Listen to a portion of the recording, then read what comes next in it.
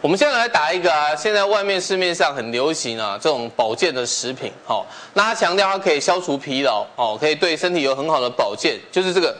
石莲花，好，那早期石莲花它的使用方法都直接沾蜂蜜吃而已，那事实上它也可以打成果汁，好，它也可以打成果汁，那我们来来示范一下怎么样让石莲花打成果汁，好，那当然除了石莲花本身的素材之外，我们还需要蜂蜜，可以增加它的那个甜度跟香气味。再来呢，我们加一点柠檬汁，好，柠檬汁可以去掉啊，这种毕竟它是一种呃生的植物，它有一点淡淡的那种青草的涩味，那柠檬就可以去掉这个哈淡淡的涩味，好，那再来需要水，好，一杯水，好，那这时候呢，就先把石莲花放进来，好，我们今天的那个量不是很多，好，我们用的杯子不是很大，所以不需要很多，好，不需要很多，好，这里我丢了五片的石莲花进来，然后呢，加入蜂蜜。把蜂蜜也加进来，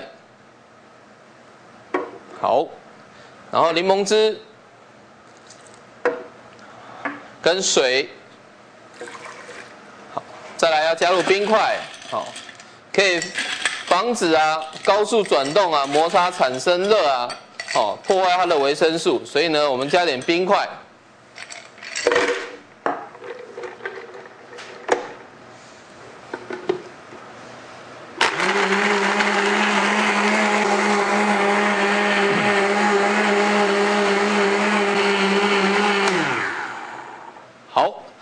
之后呢，我们就可以把它好盛装出来。记住哦，好，为了要健康，留住纤维，好，请你千万不要过滤，直接倒出来就可以了。